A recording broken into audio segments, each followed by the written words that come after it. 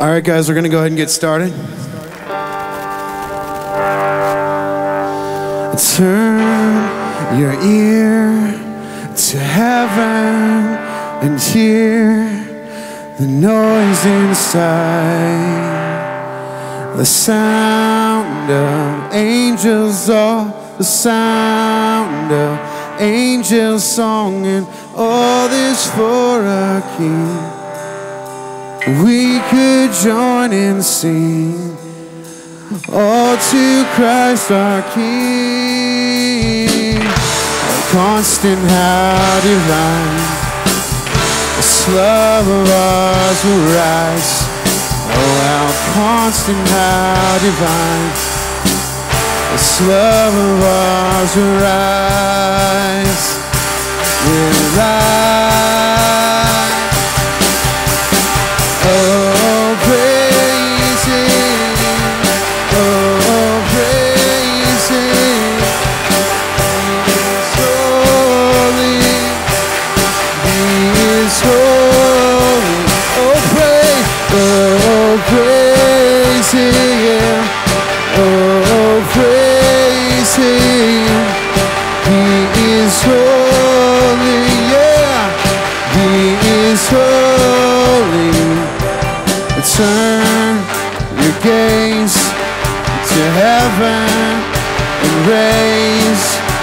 Joyous noise. Yeah. Sound of salvation come. The sound of still ones and all this for a king. Angels join and sing. all for Christ our King A constant, how divine. Some laws will rise. How constant, how divine. This love of ours will rise. Will rise. Lift it up. Oh, praise Him. Oh, praise Him. He is holy.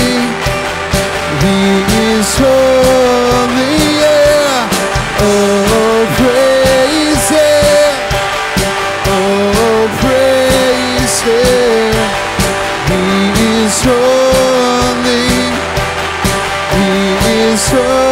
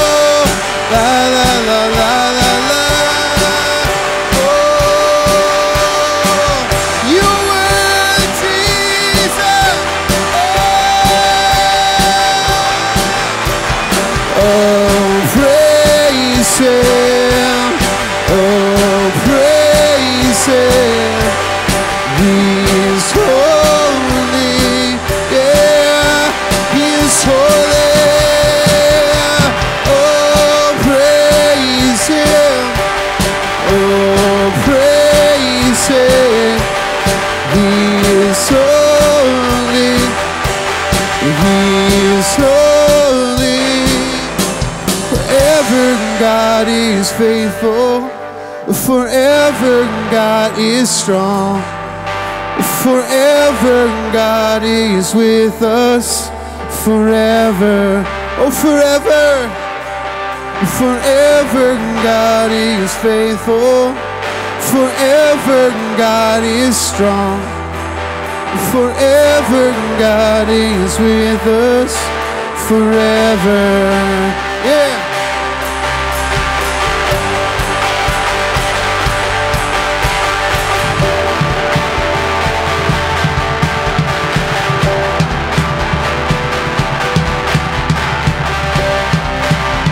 Give thanks to the Lord.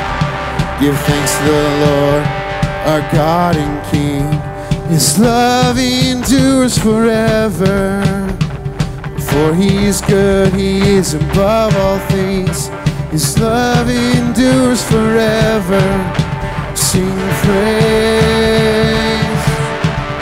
sing praise with a mighty hand, with a mighty hand and outstretched arms.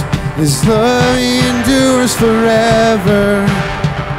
For the life that's been reborn, His love endures forever.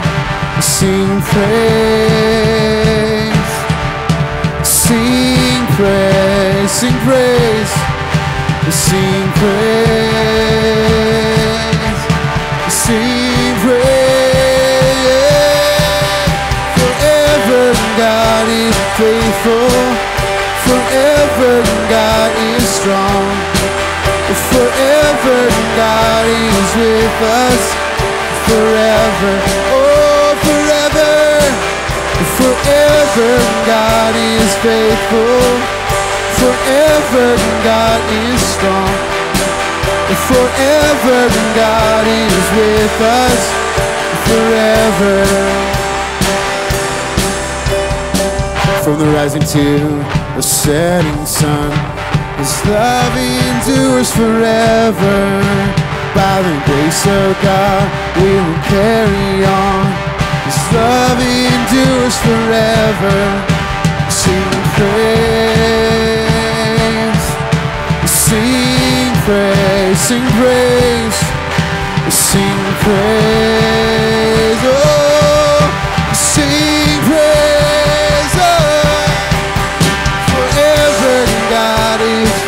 faithful. Forever God is strong. Forever God is with us. Forever, oh forever. Forever God is faithful. Forever God is strong. Forever God is with us. Forever, oh,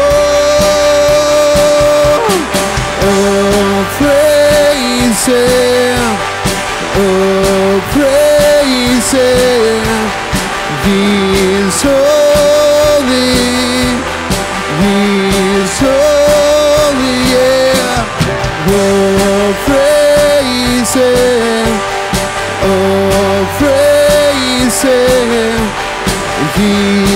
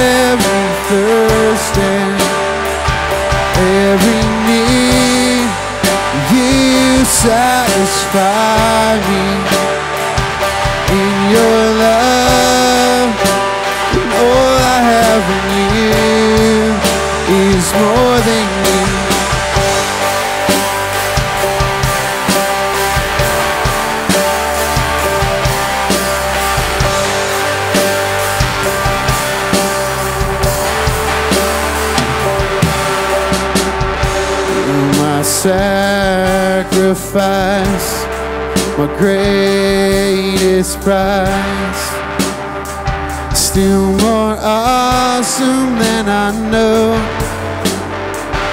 You're my coming king. You are everything. You are awesome. Still more awesome than I know. And all of you is more than enough for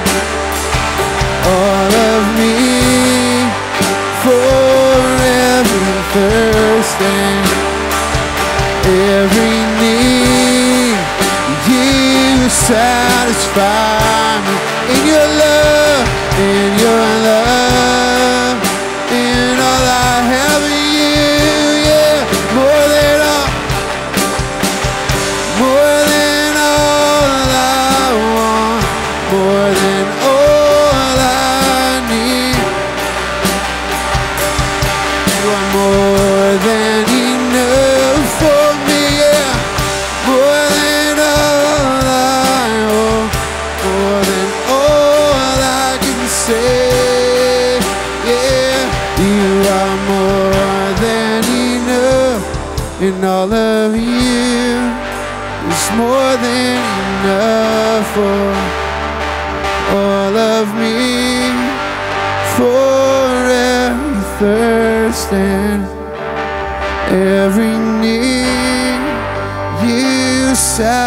far.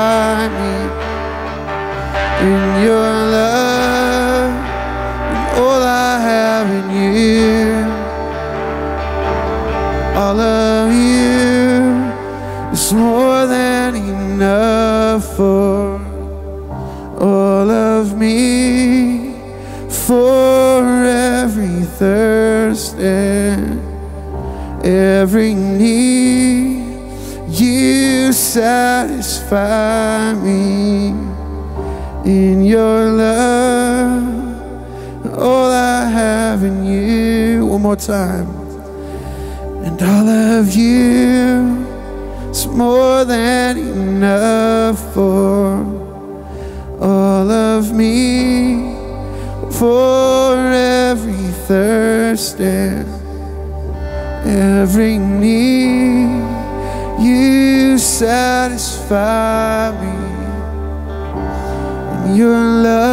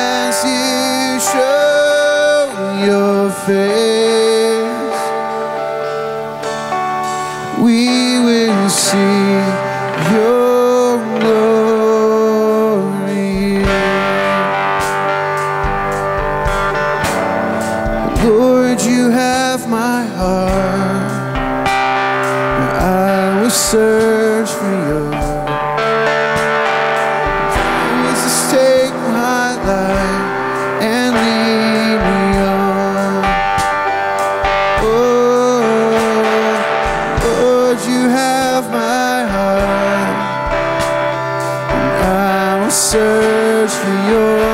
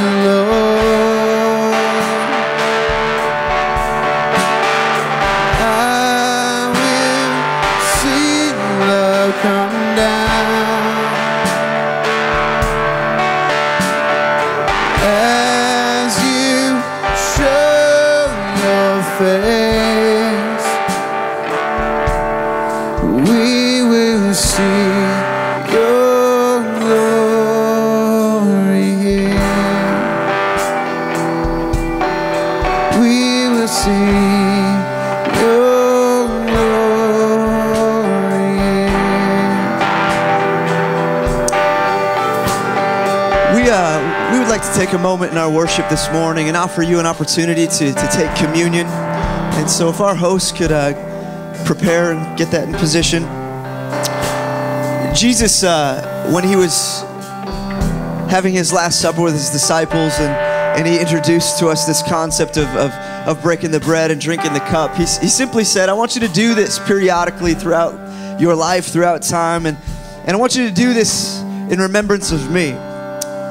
That when we have moments like this, that when we take the bread and we drink the cup, what, what we're doing is we're taking a moment, setting, setting what else may be on our mind aside, and we're just remembering the goodness and the grace of Jesus that his body was broken and his blood was spilt for us. And we want to offer you that opportunity to just take that moment to remember him, to remember his sacrifice for you. This morning, we're going to have our team lead us in another song, and we're going to invite you to, to just come forward to, to receive uh, some bread, receive some juice, and and uh, you don't have to be a member of Midtown Church to do this. We believe the scriptures encourage you to take a moment to, to make sure your heart is right before God before you do it. But this is open and welcome to, to anybody, to everybody who feels you'd like to take this moment of remembering Jesus. So as the worship team takes us, we're going to invite you to come forward, take the emblems, and, and you can make your way back to your seats or, or, or find a spot anywhere you want here. And we're going to give you a moment during the song where, where you can just reflect and, and, and and eat the bread and drink the cup on your own or with your family or grab somebody near you and, and remember this, this amazing sacrifice of Jesus. So we're going to invite you now. Peter, if you'll take us, if, if you just want to come forward and grab the emblems and, and sometime in the next few minutes during this song, you can, you can take them on your own time when your heart is, is ready to remember what Jesus has done for you. Again, it's open to everybody. Don't feel obligated that you have to, but if, if you even now would move, and we're going to take a moment to, to remember Jesus this morning.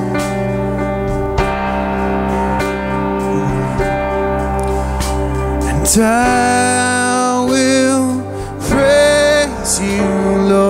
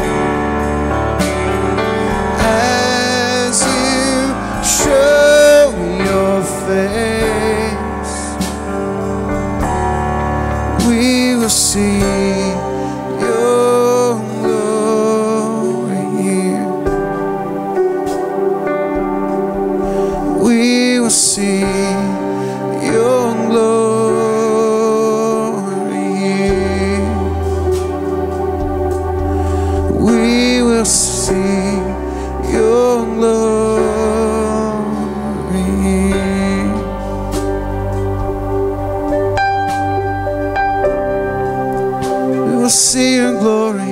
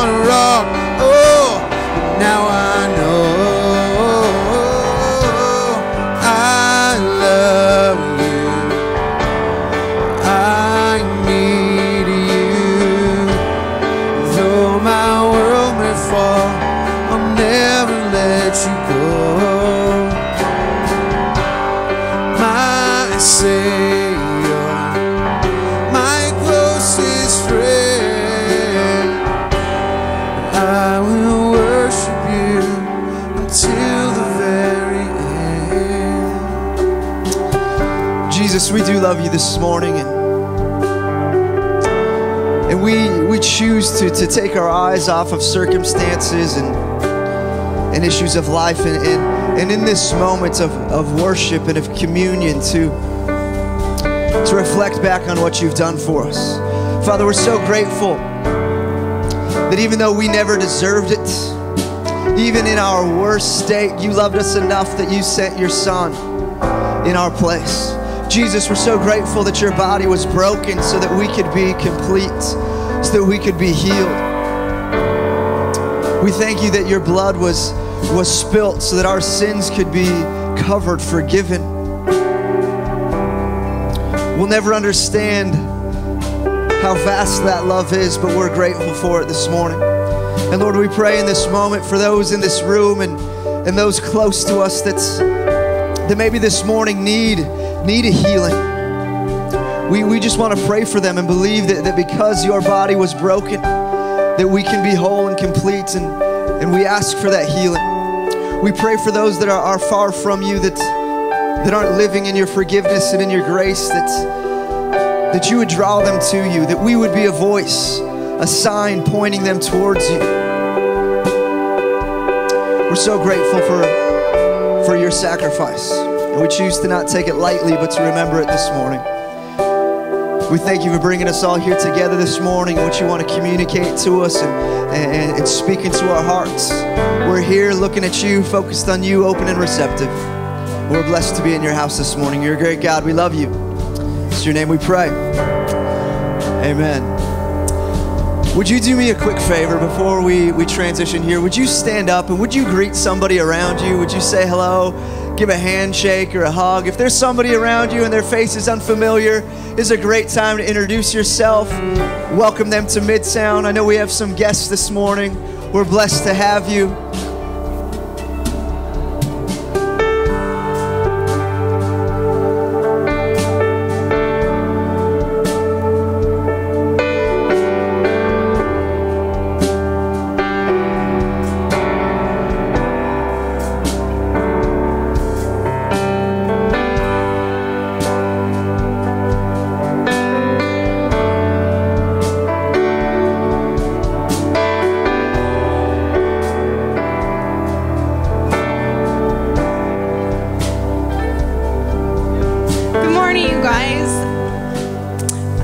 Love taking communion. It's so good to remember the grace of God, and it's just such an um, awesome opportunity. And I just want to thank you guys for being here this morning, joining us. Um, it's great to see all of you.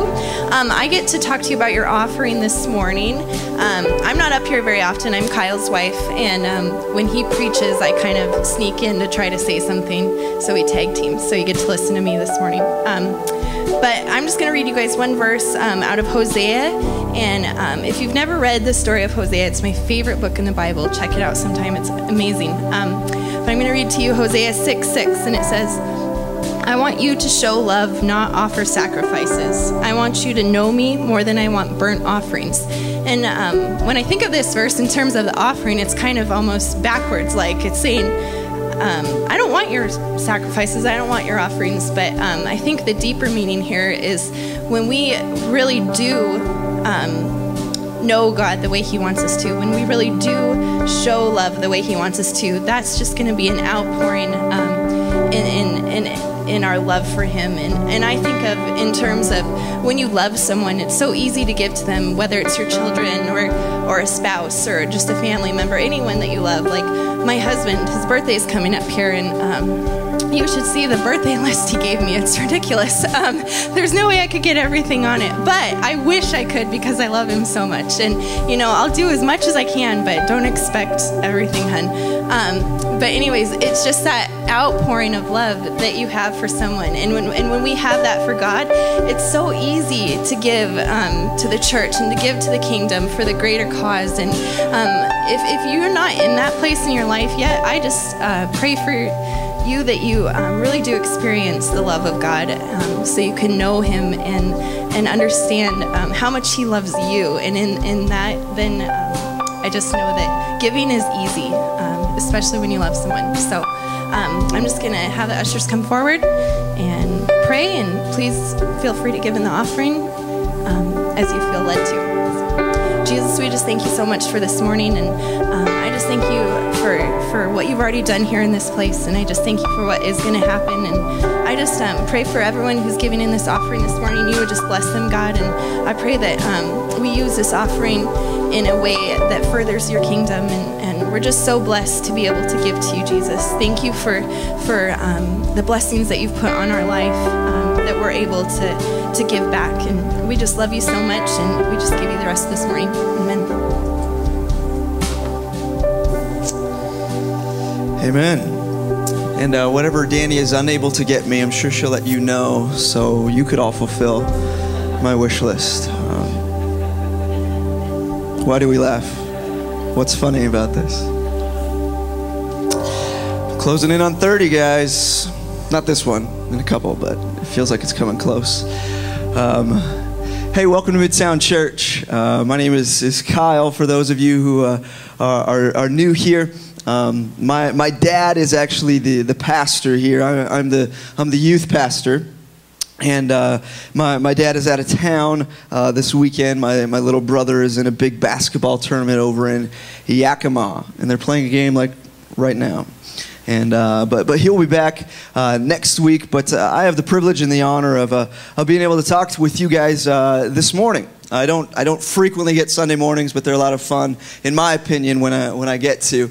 And this morning, we, we're introducing a, a brand new series um, that, that'll go for the next several weeks. And the series is called Relationship rehab, uh, relationship rehab. And, and, the goal would be that we could, we could learn how to, in the next several weeks, uh, broken relationships in our lives, how to, how to mend them, how to see them fixed, how to see them rehabilitated. Uh, because the truth is, uh, in this society and, and with us being selfish human beings, interacting with other selfish human beings, we run into relational issues in our lives. Uh, and, and, and to be honest, we, we, we probably all have walked through or, or are currently in some broken relationships that we would like to, to see mended, that, that we would like to, to see changed. And, and so we're going to talk about that over, over the next several weeks. And, and, a lot of this will, will obviously have to do with, with marriages and, and with romances, but we really believe that, that what we talk about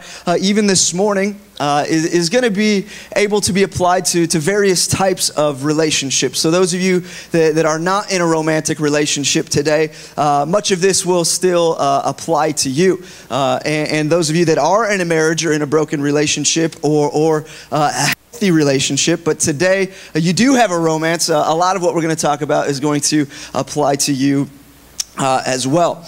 Uh, I want to just preface before we, we dive into some scriptures and some teaching on this that um, the last thing that I would like to have happen or that I desire to happen, the very last thing that, that we would want to happen this morning when, when, we're, when we're done and you leave here, that you would feel like, well, I am just going to, to try harder. I'm going to work harder. I'm going to be better. I'm going to be different. It's going to work this time. I'm going to follow these strategies and these principles and I'm going to make this work.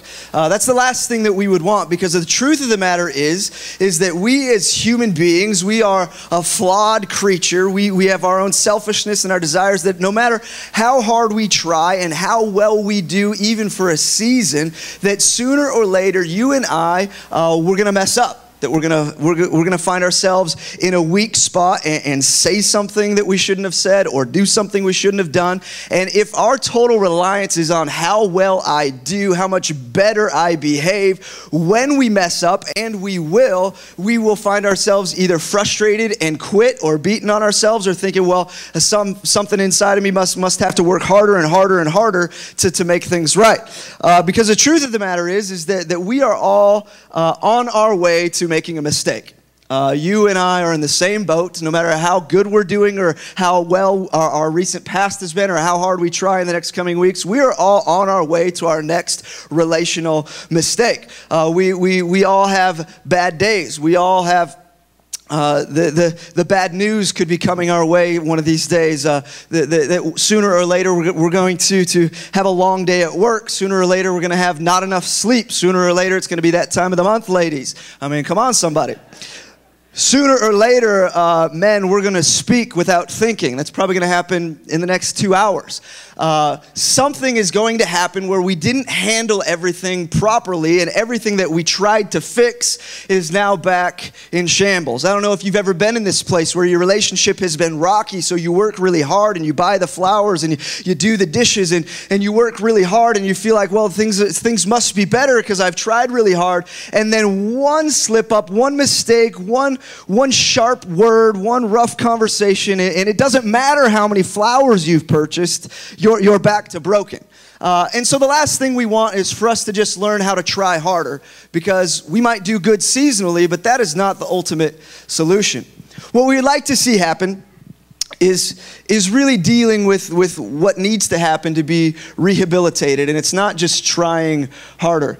Hebrews chapter 12, verse 2 says, Let us fix our eyes on Jesus, the author and the perfecter of our faith it says that, that our job, if we want to grow in perfection in our faith and in our life and in our relationships, that, that it doesn't rely on us trying harder, on us being better. It says that our responsibility is to fix our eyes on Jesus. And when our eyes are fixed on Jesus, he does the heavy lifting. He does the perfecting. He does the cleansing. He does the maturing. He does the rehabilitation. That in fact, our job is not to go out and try harder at our relationships and our, our, our disciplines and our purities. That our job, in fact, is, is to pursue the person of Jesus and let him do the heavy lifting. John 5 39, uh, it, Jesus is talking to religious people that are trying really hard to live a righteous life. And, and he tells them they're called the Pharisees. They're these most religious, righteous people of the day, memorize scripture, are in church every day, uh, follow the laws and the commands better than anyone else on the planet. And Jesus looks at them and he says, You search the scriptures thinking that if you can live righteously enough, disciplined enough, if you can follow all the rules and find the right strategy, you think that if you do that, you will find righteousness, you'll find eternal life. Jesus says, but you you vastly missed the point. It was never about a formula. It was never about a system or a strategy. It was never about you following the laws. It, he says all of Scripture is pointing you to me.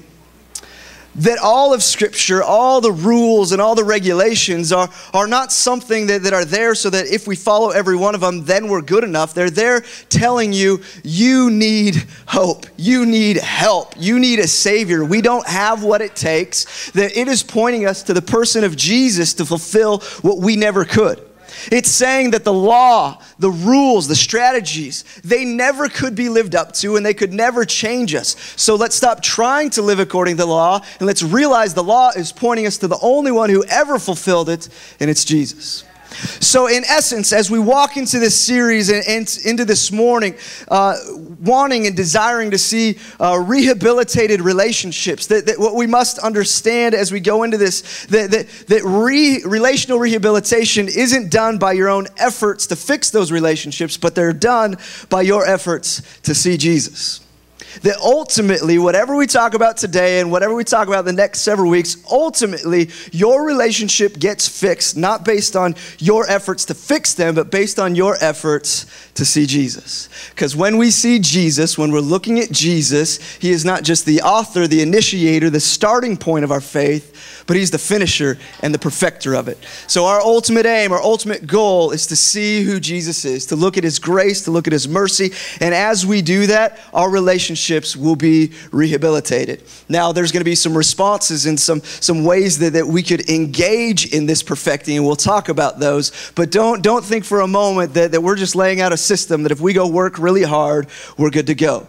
Because that's not it. If we, if we seek Jesus, if we get obsessed and pursue the person and the grace of Jesus, relationships get rehabilitated. So we're not going to be condemning behavior and, and destroying you based on your past behaviors. We're just going to talk about how good and gracious Jesus is. And I believe we're going to see relationships and marriages rehabilitated in the next several weeks. Would you bow your head with me and pray? And uh, then we're going to dive into to some scriptures and some, some more teaching on this matter.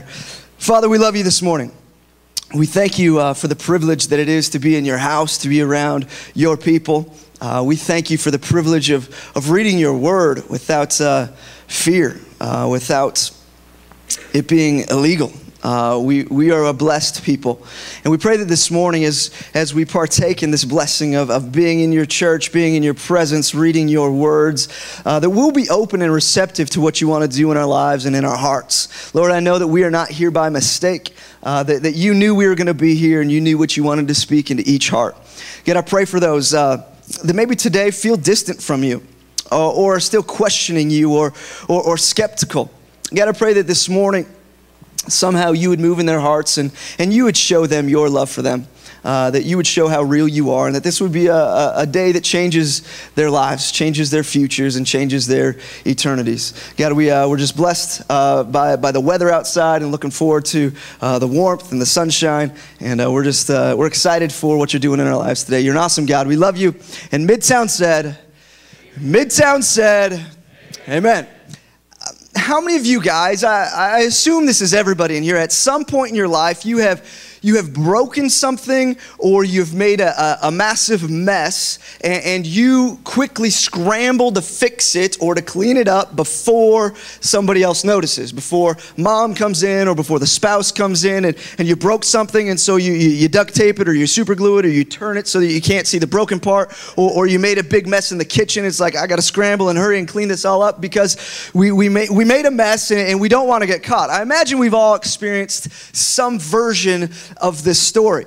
Um, for me, the, the example that came to mind as I was thinking about this is is growing up, I had a, a, a, problem. I had an issue with, with wetting the bed um, far longer than I should have.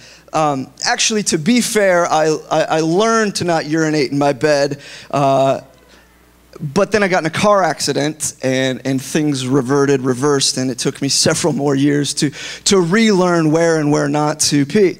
Um, and, and, and, it was a process for me.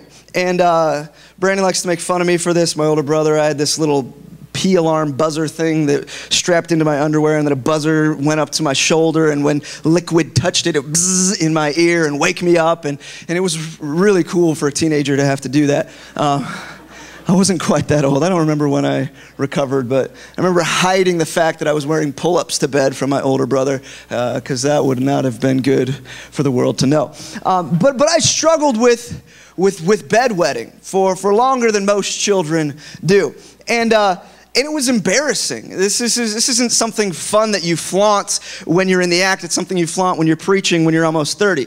Um, but not in the time. This was embarrassing. I didn't want anybody to know that I struggled with, with bedwetting. And, and even though my parents knew that I had this issue, I, I didn't want them to know when I actually did it. So, so I would try to cover it up and clean it up before anybody found out that, that I messed up. Now, sometimes it was just like Niagara Falls hit my bed and there was no covering it up up. And, and there you just kind of throw up your hands and say, Mom, laundry day.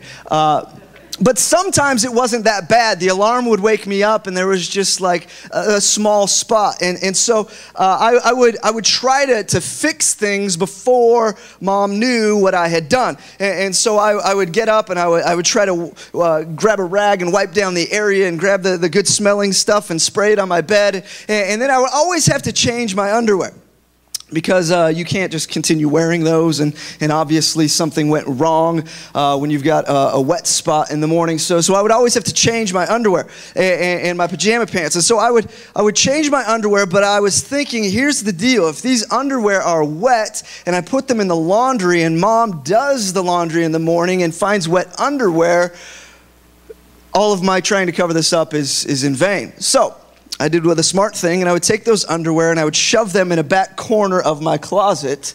Uh, I still don't think my mom knows this, and she's not here today, and we don't need her to know this. Um, this is you and me this morning. This is our time and I would find a closet or a spot in my closet where I would shove the underwear until they were dry. And days later, I would take them out of the closet, wrap them up in something else that was dirty, hoping that would disguise the stench, and then put it in the laundry and, and, and try to, to, to, get my way out of the situation. I remember, I don't know why I did this, but I one time when I was younger, I had a, a, a cool jacket, um, this, this coat. And I think it was my first coat that ever had like a secret inside pocket um, which, which like all coats have now. And because it was like this secret inside pocket, I thought like this is the ultimate hiding spot. And, and I remember one time going to put on my jacket and I found like five pairs of peed in underwear in my secret pocket. I was like, oh, what is, oh. And so I wrap them up and throw them in the laundry and I put on the coat and I smell like urine for the rest of the day. I don't think I ever wore that coat ever again. Uh, I was not the smartest child uh, and I wet the bed, and, and things are going better now. Um, but we as human beings have this tendency that when we make a mistake, when we blow it, when we make a mess of our lives or, or of whatever the circumstance is, it is our tendency to hide it, to shove it in the closet, to, to, to put it away so that, that, that we can appear as better off than we really are. And this is the truth of our lives. It's the truth of this morning. Uh, we, we come to church uh, with, with Pete in underwear shoved in the closet. We come to church with our arms around the person we were fighting with this morning. We come to church uh, after last night, we, we struggled with, with our addiction again. But, but when we go to church, we, we shove that stuff in the closet and we act all nice because I got to be doing as well as everybody else is there. But the truth is, everybody else there has stuff in their closet too, and they're just appearing to be good enough for you. And the truth is, we're, we're all messed up people that look a lot better today than we really are. I'm in the same boat with you. We, we, we put things in the closet. We've made messes. We've made mistakes. We've got broken relationships. We've, we've got problems. And my question that I want to approach this morning is, is and specifically when it comes to our, our relationships, to, to, to our marriages, to, to our family relationships, to, to friendships. What do we do when we have usually unintentionally made a mess of it. We, we've made a mistake because uh, our tendency is, is to hide it, to disguise it, to not approach it, to, to hope this just washes over and we'll move on with life. But what do we do uh, when we make a mess of our lives, when we make a mess of our relationships? What should our response be? And if you're in one of those seasons this morning, what do we do about it? If you're not, you're on your way. What do we do about it when we, we get there? What, what are we to do when we have made a mess to clean all this up? I want to go to uh, the book of 2 Samuel this morning, and uh, you can, if you brought your Bible with you or you've got it on uh, your electronic device, you can go to chapter 11 of 2 Samuel. And we're actually going to read a, a, a, kind of a longer story. We'll skip some verses for, for brevity, but we're going to read this story of this guy named David. Now, now, if you're familiar with, with the Bible at all, David is, is a pretty big deal. He's, he's celebrated uh, through, throughout all of Scripture, he's celebrated throughout all of time. He has this one label that says that, that David was a man after God's own heart. There's a few guys in the Bible that get that, and David's one of them. That he is a man, he is a human being that, that is after God's own heart. We, we see David celebrated uh, in, in Hebrews chapter 11 in the heroes of faith, David is brought up. We see in Acts chapter 13 this, this dialogue of, of these heroes of the past. David is brought up as this patriarch, this hero, this amazing man of faith that we stand on today. In fact, Jesus himself, one of his most common names that he was called was Jesus, son of David. That Jesus came from the lineage, the heritage of this man, David. And, and, and, that David is this, this icon, this hero, this amazing man of, of, of, our faith, of our belief system. And it's easy for us to think, well, well David, he, he, he killed the giant, he was the king, he wrote all this, these psalms, and, and he was this amazing man that, that, that I can't really relate to. He was, he, was, he was all too good to be true that he, he must be celebrated because of his amazing life, his amazing heart after God. And I, I know my flaws, I know my mistakes, I know my tendencies, and it would be difficult to say, with all the things that I've done, that I, I could be labeled as a man after God's own heart. That me and David are kind of worlds apart. Well, as we read the story that we're going to read here in a moment, and I would ask you to follow along. I know it's a little bit extensive, but we're going to read this story and we're going to pull out some, some pieces of what David did when, when he had a mess, and then he tried to cover it up, and then he actually had to, to deal with it properly. Uh, we're going to learn some stuff out of this. But if you would follow along with me in uh, 2 Samuel chapter 11, I'm going to try to turn there really quick. It says this.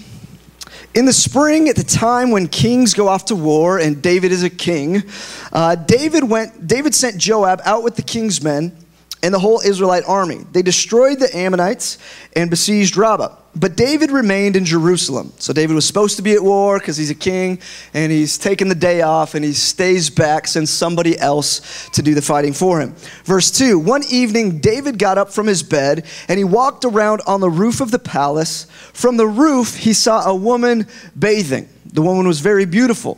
So he essentially, he's not out there searching for a naked lady in a bath. He is just wandering around the palace, hitting the, hits the roof, and, and all of a sudden sees this, this woman, this image. It's, it's, it's similar in today's uh, culture when, when, when we as men get, get mesmerized by, by images on the computer screen. Oftentimes, you're not going intentionally trying to, to find this, this, this, this image, but because of, uh, of a website you're on or, or the pop up that comes up on your screen, all of a sudden there is this, this opportunity opportunity to, to give yourself away emotionally and, and your purities. And, and David has that encounter here. He's not looking for trouble, he's not searching for impure thoughts and desires, but, but he stumbles upon it. He says he sees this woman uh, and she is bathing, and he's, he's at decision time. Am I going to look away? Am I going to close the computer? Am I going to put my phone away? Or, or is he going to do something uh, that he shouldn't do? It goes on to say this, and David sent someone to find out about her. The man said, Isn't that Bathsheba, the daughter of Eliam, the wife of Uriah the Hittite? Then David sent messengers to get her. She came to him, and he slept with her. She had purified herself from uncleanliness. Then she went back home. Uh, the woman conceived and sent word to David, saying, I am pregnant. The three most terrifying words a man can hear. Uh, a blessing turns out great, still terrifying uh, he catches word that he just committed adultery with this other man's wife and he has gotten her pregnant. Uh, he has made a mess. And now we're going to see his, his desire to cover up that mess before he gets caught. This is him shoving the underwear in the closet, so to speak. It says, So David sent this word to Joab Send me Uriah the Hittite, the, the, the girl's real husband. And, and Joab sent him to David. When Uriah came to him, David asked him how Joab was how the soldiers were, and how the war was going. Then David said to Uriah, Go down to your house and wash your feet. So Uriah left the palace, and a gift from the king was sent after him. But Uriah slept at the entrance of the palace with all of his master's servants and did not go down to his house. So David's cover up isn't working. He wanted Uriah to come home and, and go to his house and sleep with his wife so that he thinks he got her pregnant, but he, but he doesn't go home. Listen to this. Uh, Uriah, uh, here we go. Verse, where are we at? Verse 10. Then David, when David was told Uriah did not go home, he asked him, Haven't you just come from a distance? Why didn't you go home? Uriah said to David, The ark of Israel and Judah are staying in tents, and my master Joab and my Lord's men are camped in the open fields. How could I go to my house and eat and drink and lie with my wife? As surely as you live, I will not do such a thing. Then David said to him, Stay here one more day, and tomorrow I'll send you back. So Uriah remained in Jerusalem that day and the next. At David's invitation, he ate and drank with him, and David made him drunk, thinking this is going to work now that he's drunk. But in the evening, Uriah went out to sleep on his mat among the master's servants. He did not go home. In the morning, David wrote a letter to Joab and sent it with Uriah. In it, he wrote, Put Uriah in the front line where the fighting is fiercest.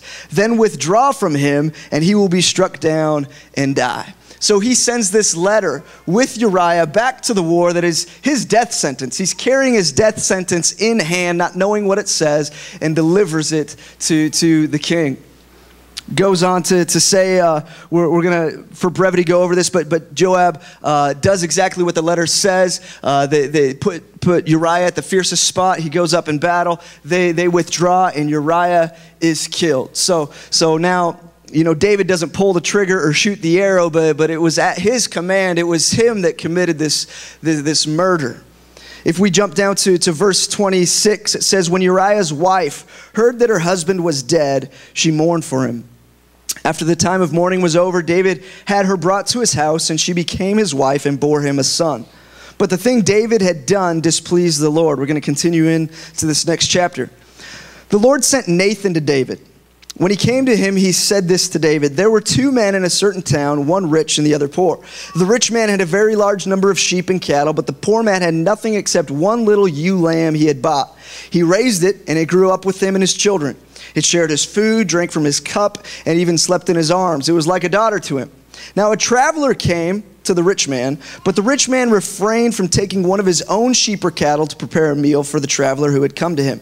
Instead, he took the ewe lamb that belonged to the poor man and prepared it for the one who had come to him. David burned with anger against the man, and he said to Nathan, As surely as the Lord lives, the man who did this deserves to die. He must pay for that lamb four times over because he did such a thing and had no pity.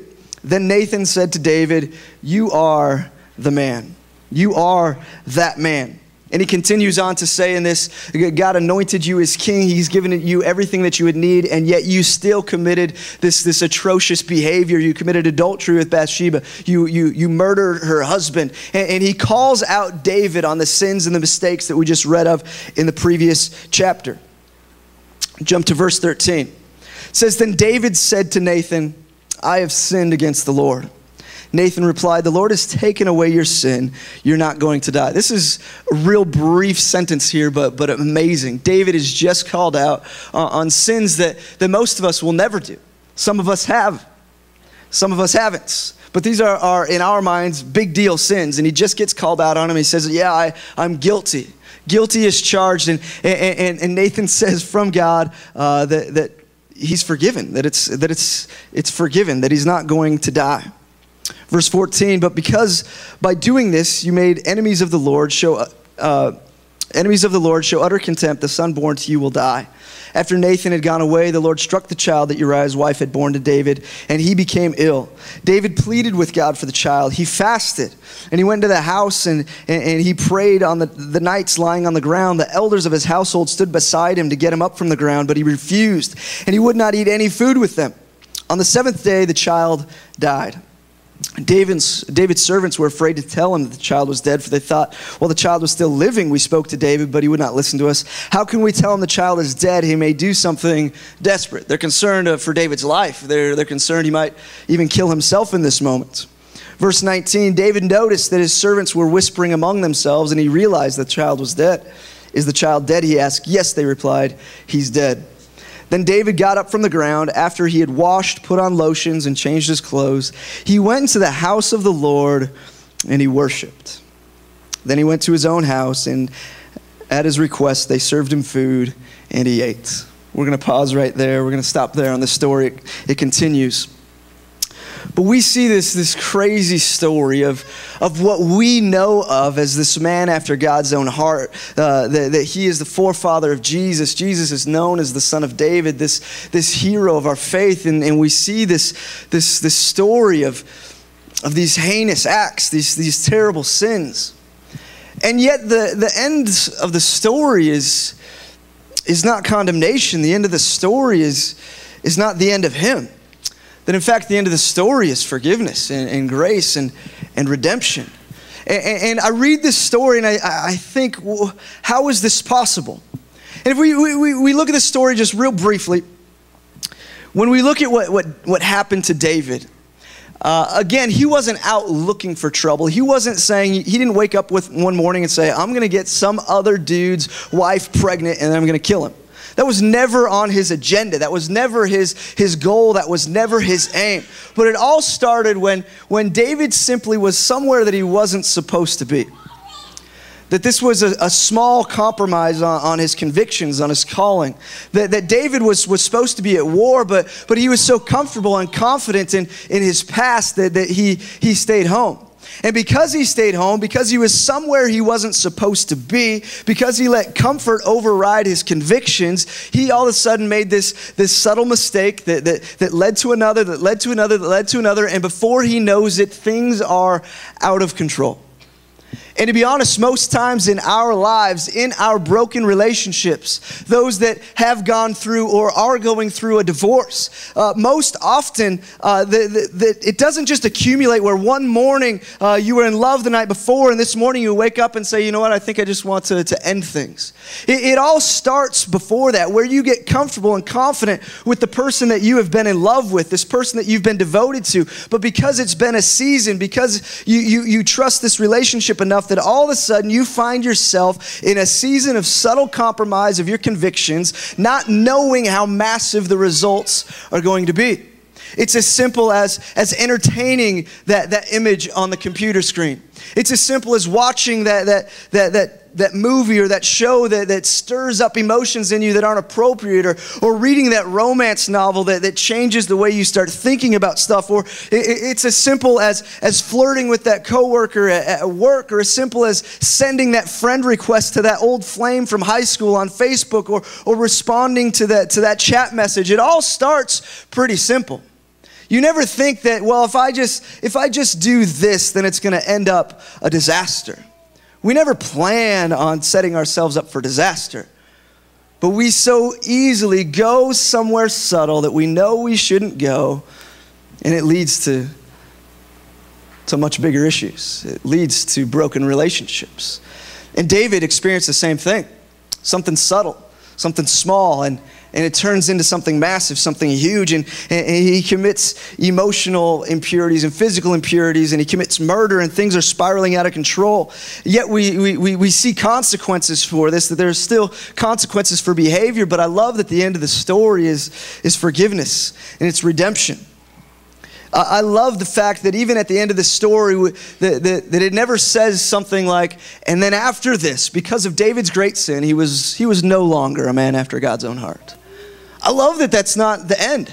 I love that it, it says that, that it doesn't say anything about because David was so sinful, because he messed up in his relationship so bad, he can no longer be the forefather of the Messiah. I love that that's not the end result because this gives me hope. This gives you hope. This means that those of us in here who have broken relationships, who have walked through divorces and, and walked through terrible mistakes in our sexuality, those of us who have blown it big time, even if we're in here this morning and we are uh, adulterers and murderers, here's the good news for you this morning. I don't know the label of your sin, but no matter how vast or how small it is, the, the, the end of your story still can be you are a person after God's heart.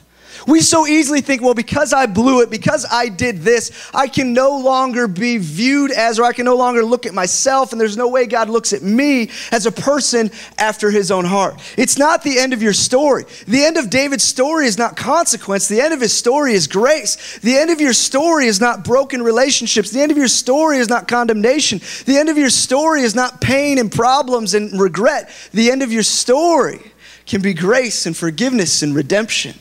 You still can be labeled a man or a woman after the very heart of God. And this gives us such a great perspective of the way God views what we label as the wicked. It's so easy for us to write other people off because of their faults. It's even easier to write ourselves off because nobody knows our dirt like we do. And we assume that God's in that same place so that it's he knows our dirt, so it's easy for him to write us off. But we see one of these, these terrible acts and behaviors from David, and, and God's response is not even considering writing him off. His response is, David, I, I still love you. I Still have a plan for you. You still have a huge role to play in bringing the Messiah to humanity. That, that you, you're my boy. You, you're after me. I know you've blown it because here's the deal. When God created David, he knew that David was going to commit adultery and murder a man. He knew it. And when he started having David pursue him, he knew the good and the bad. Is this getting really awful? Let me try this.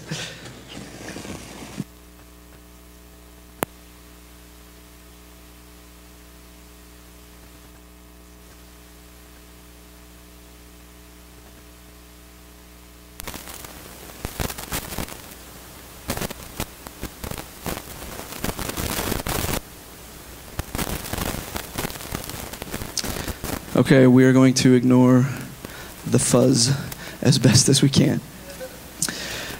I'm going to try. It's going to distract me, it'll distract you, we'll be all right. Um, I was saying something about David. David, uh, God, God knew the mistakes that he was going to make, yet he still made him. He still created him, he still destined him. Here's the good news in your life God knows the mistakes that you made, He knows the mistakes you're going to make. He knows your days of blowing it aren't over. But his, his love is unchanging, his call is unchanging. If we for a minute think that God's approval of us has to do with our behavior, we are way off track. Because he knows what you're going to do. He knows how you're going to butcher relationships and mess up and, and be impure.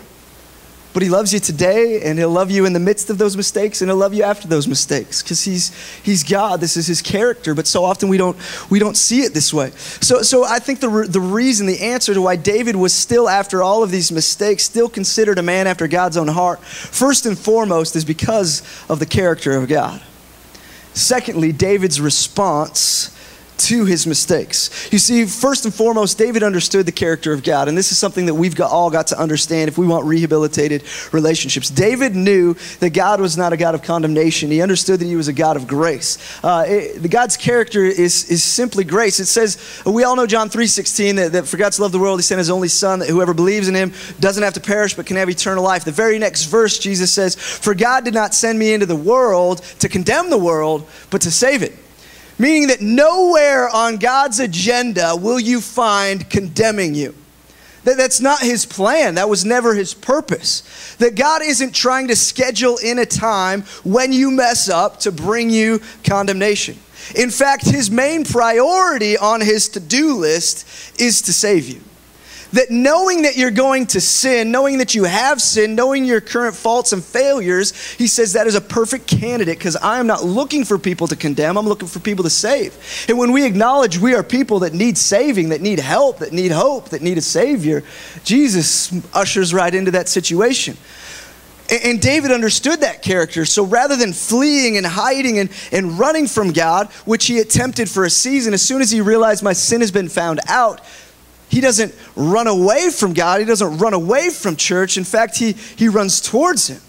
We see what he does is, is he, he acknowledges his sin, but then he prays and he fasts and he goes to the, to the temple, he goes to the church and, and worships. These are actions of moving towards God. And I think the reason he moved towards God is because he knew the character of God. See, the problem is, is that when we mess up, if we have a misunderstanding of God's character, we'll run away.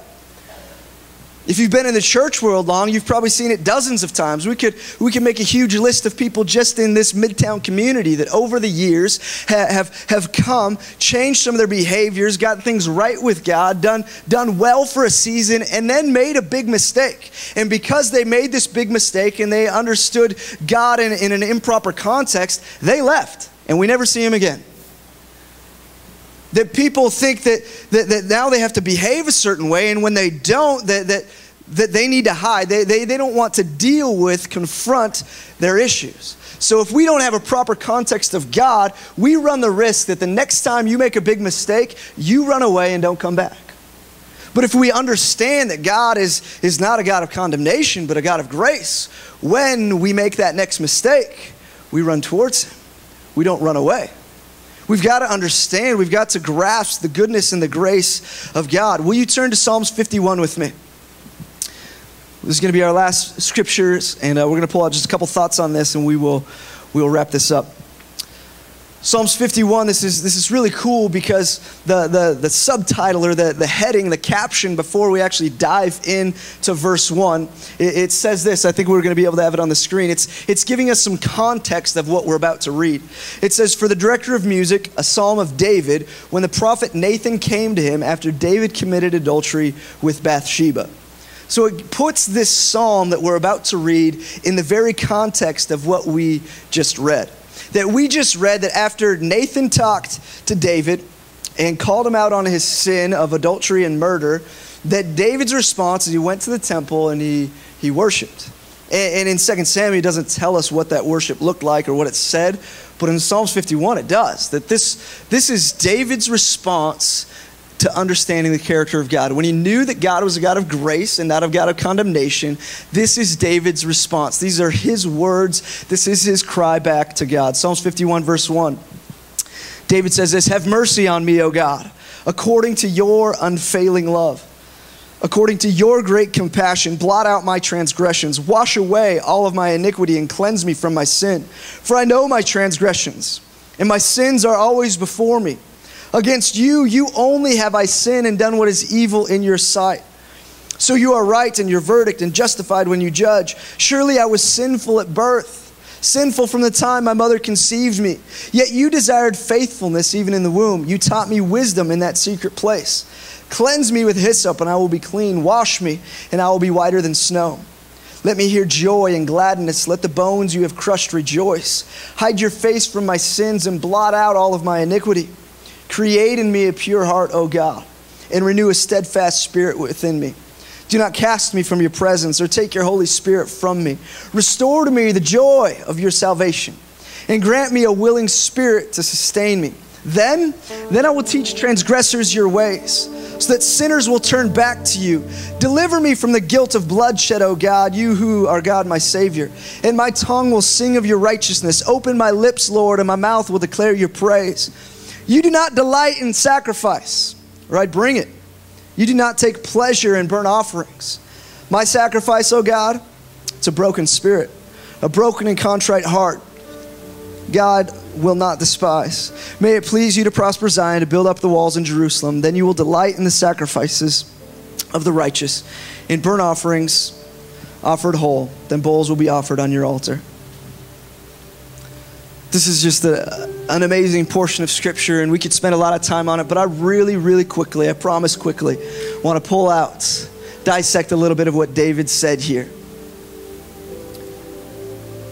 Because I believe that this, this response to his mistakes, this response to understanding the character of God, is why it wasn't over for David. And why it, it, it it's not over for you why we can walk through relational rehab. Five things I want to pull out real quick. First, what David does is he declares the goodness of God. Right from the beginning, he talks about his unfailing love, his great compassion.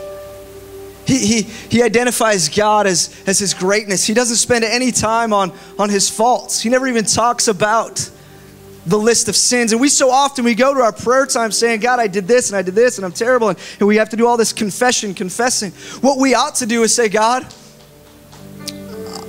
you're amazing. Your mercy is bigger than my sin. Your grace is so much stronger than what I'm walking into this, this prayer time with. He declares the goodness of God, meaning it's not about how bad I am, it's about how good He is. We so easily get focused on, on how bad my behavior has been, where we need to start becoming obsessed with how good He is. His goodness outweighs your badness every time. His goodness is, is way bigger than all of our badness put together, yet we let our badness dictate our, our interaction with Him. He declares the goodness of God. We don't have to dwell on our bad, we need to dwell on how big His goodness is. Secondly, He owns up to His sinful state. He doesn't dwell and, and list off His sins, but he, he accepts it. He says straight up, he says, uh, he, he talks about the bloodshed on his hand. He talks about restore to me purity in there. But he says, surely I was sinful at birth. Which in today's vernacular, if I were to say it, what, what David is saying there is, God, all I know to do is sin. I was born a sinner. Even when I try, I, I mess up. I, I, I'm a human being that sins. Surely I was sinful even from birth. I didn't just one day decide to do something bad. I, I just, I'm a sinner. I make mistakes. I treat people poorly. I've got issues of lust inside of me, and and and God, I, this is who I am. It's a really freeing acknowledgement to realize. Guess what? The best of us and the worst of us are the same. We were born sinners. That's all we know to do. Don't think for a second that just because we go to church or because we're pastors or because we're on stage or, whatever the scenario is, that, that now we're, we're people that have learned to not sin. I've been sinful from birth. He owns up, he acknowledges that this is this is all that I've got. This is I don't have it in me to be good enough. Thirdly, he acknowledges he can't fix himself.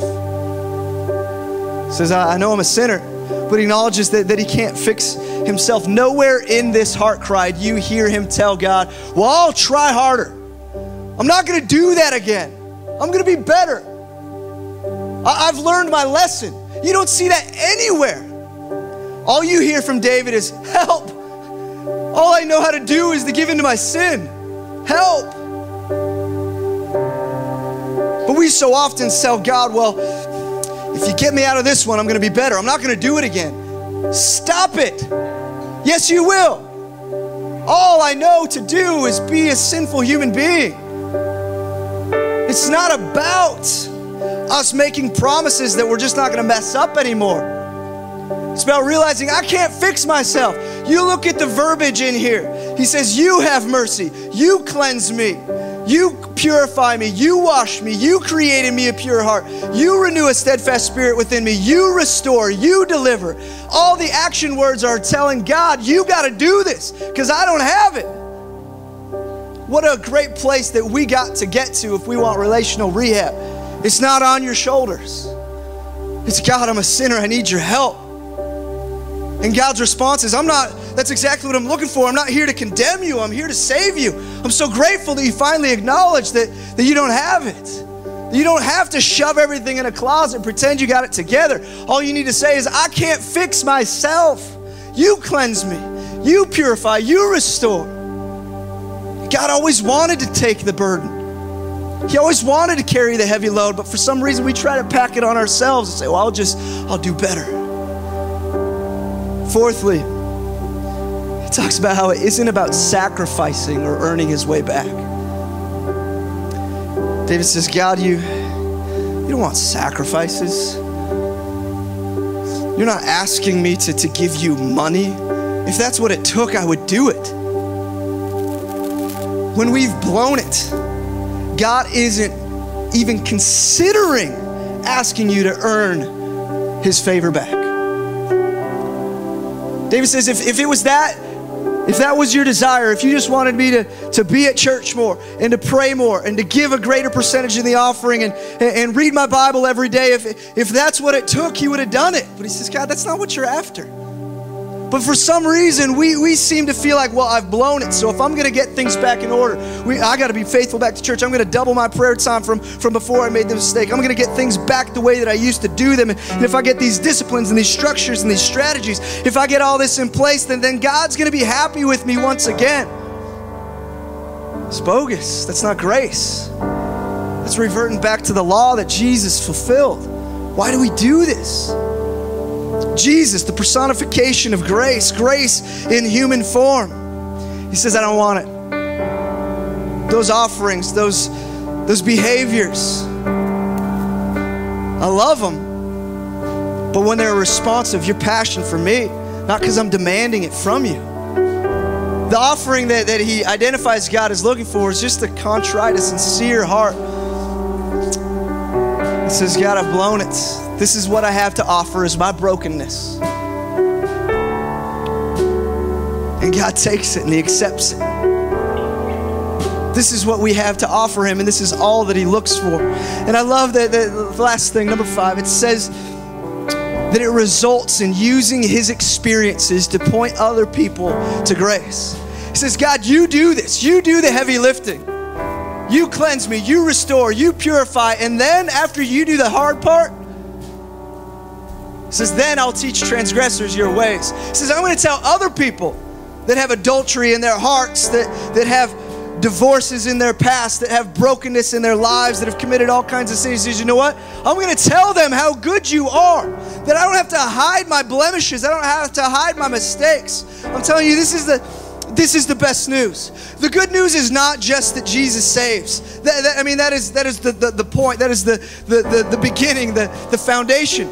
But the good news is so much bigger than that. Imagine this David, the shame and the guilt.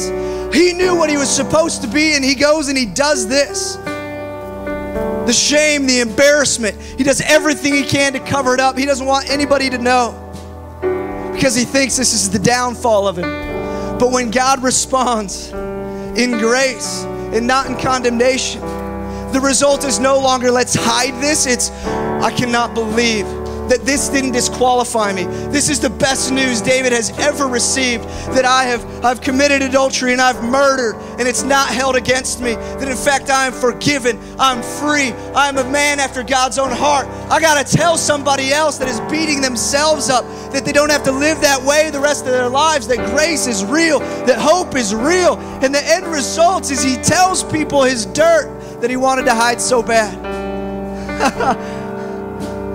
I mean, this is good news. I don't know your story. I don't know your sins. I don't know your broken relationships. I don't know your adultery. I don't know your divorce. But I know Jesus. And I know His grace. And I know He can use what you've been trying to hide, you've been trying to compress in the closet. And He can use that when you experience forgiveness, you experience hope that very situation you don't like to talk about all of a sudden becomes your greatest tool to influence your family, to influence your community, to influence the city. How cool that what you're most ashamed of can be your favorite thing to talk about because it brings hope and it brings freedom. This is Jesus.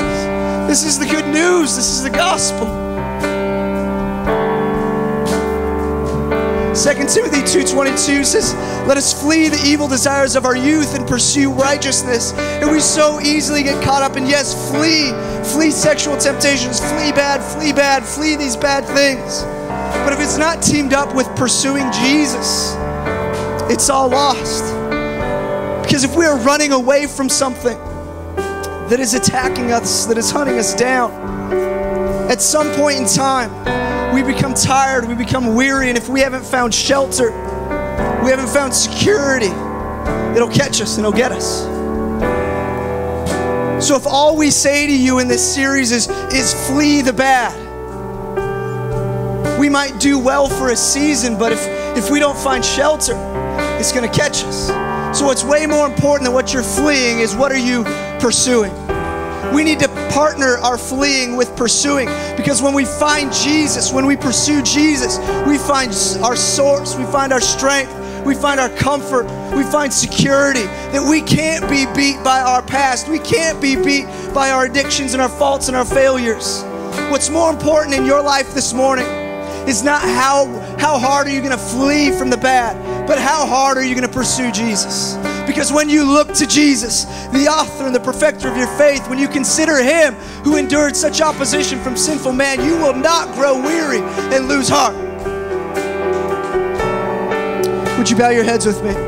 Father, I love you this morning. I thank you for your grace. I thank you for your love. I thank you that our stories don't end in condemnation. I thank you that your grace is real. I thank you that the good news is bigger than that you saved us. That the good news is is that what we are most ashamed of can be used for your glory.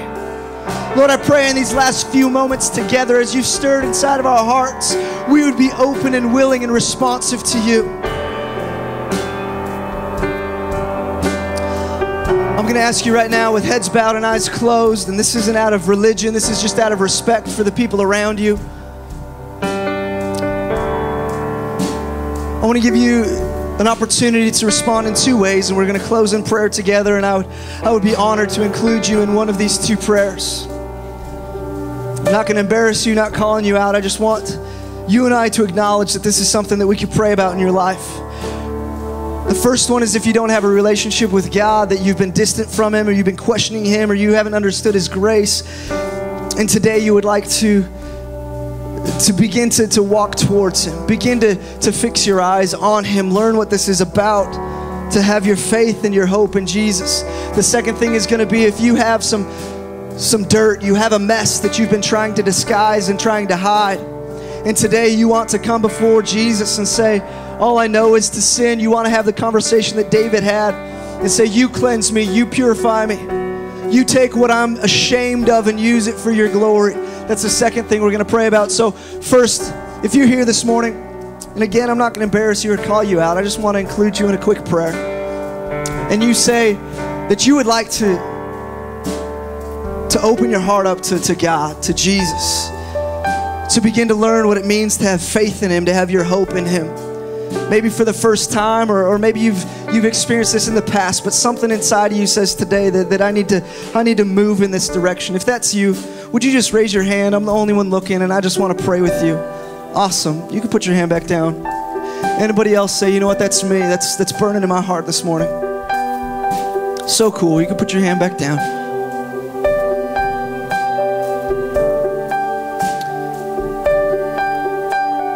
Before we pray the second category if you're here and you've got you've got a broken relationship that needs mended or you've got a past you've got dirt you've got a mess that you've been disguised and ashamed of and and today you would like to open that up to Jesus to say you cleanse this you fix this you purify this and I want to use what I'm ashamed of to point people to your grace. If that's you, would you just slip up your hand as well? I want to include you in this prayer. Awesome.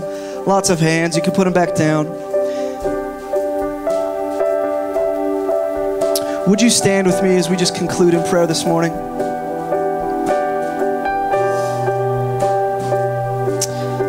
Father, I thank you so much for, for the responsive hearts and lives in here this morning. You, you saw every hand that was raised, and more importantly, you know every heart that's in here. Whether hands were raised or not, you know what's going on in the hearts and the minds of every individual. God, I pray for those that that in their hearts this morning are ready to respond to you and to your grace and, and begin to, to look at you and discover you and find hope and forgiveness and mercy in you. I am so blessed and honored that they are here this morning. Thank you that you're doing a work in their hearts. We say welcome to the journey. We say welcome to the family of people who don't have it all figured out but are pursuing the person of Jesus. Thank you that you welcome them into your family. Thank you that you don't meet them this morning with condemnation, but you meet them with grace, saving grace. Thank you that it is real in each and every heart today. Lord, I pray for those, whether they raise their hands or not, that are currently struggling with a broken relationship or an embarrassing past or a messy life that they've been living and are ready today to, to before you expose it. Have a Psalms 51 moment of God, you are good. My sin is real. It's all I know to do, but I surrender it to you. You fix me. I'm not going to leave here trying harder. I'm going to leave here pursuing you. And God, I thank you that the end result is that we, amidst our flaws and our faults and our failures, are men and women after the heart of God. That we get to influence our community. We'll point others to you, Jesus. We love you and we're blessed and we're honored to be here this morning. You're a great God. We ask that you bring us safely back next week. Show us who to invite, show us who to influence. Let us look at you, Jesus, not our efforts, but your grace. We love you. It's your name we pray. It's your name we're gathered here this morning. Amen. I love you guys. Thank you so much for being here this morning. Feel free to, to linger if you'd like to. I know I preach really long, so if you need to go, you're more than welcome to. We're blessed and honored to have you here at the family of Midtown. Have a great afternoon. Enjoy the sunshine. Linger if you want. We love you. hearts, oh God, and renew a right spirit within me. Cast me not, cast me not away from your presence, oh Lord. Not your Holy Spirit from me. Restore unto me the joy of my salvation and renew a right spirit within me. Cast me not away, cast me not away from your presence, oh Lord. Take not your Holy Spirit from me, oh,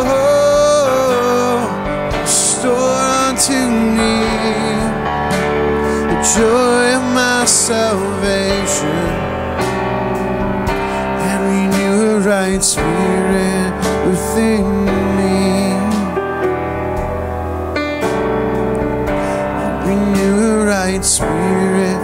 within me.